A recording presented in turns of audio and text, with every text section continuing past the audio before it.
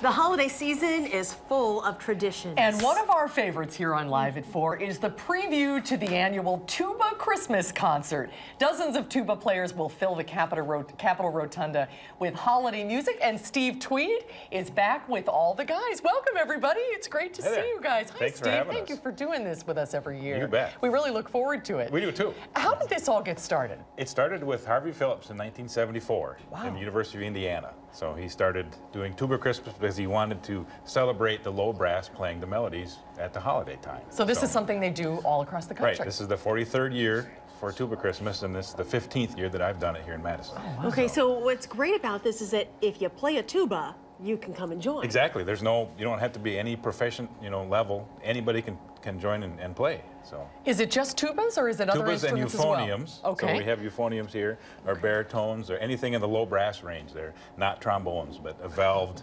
instrument. So, sorry, Tom. How long have you guys? how long have you guys all been playing together?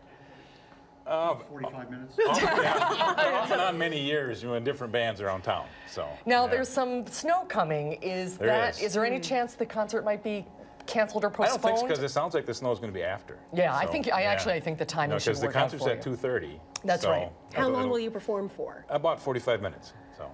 All right, well, we'll let you do your thing here. Let's right. tell everybody that the Madison Tuba Christmas, it's tomorrow in the state capitol rotunda.